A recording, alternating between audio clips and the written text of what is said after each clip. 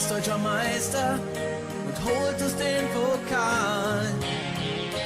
Fast noch den Europacup. Trotz Erfolg hast du nicht